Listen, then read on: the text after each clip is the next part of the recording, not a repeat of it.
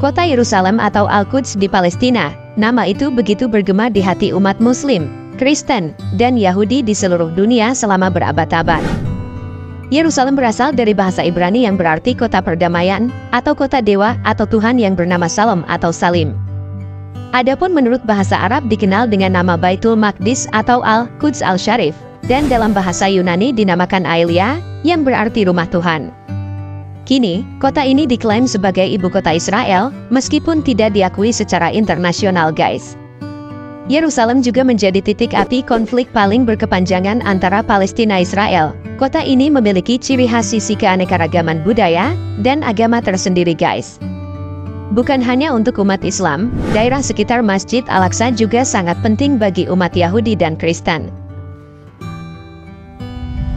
Di dalam wilayah Kristen terdapat gereja makam kudus, yang menjadi situs penting bagi umat Kristen di seluruh dunia.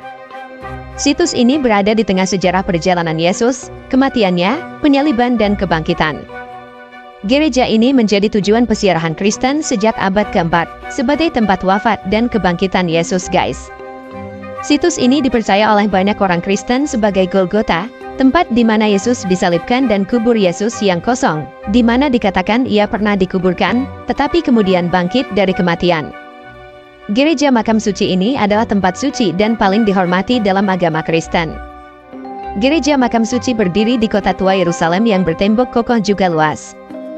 Arsitektur gedung gereja menggunakan model arsitektur Kubah. Arsitektur tersebut umum digunakan di bangunan gereja dan masjid di seluruh penjuru tanah suci tiga agama samawi guys.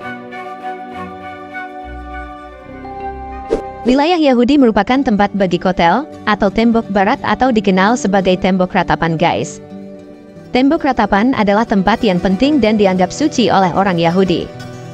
Ini adalah sisa dinding bait suci di Yerusalem yang dibangun oleh Raja Herodes.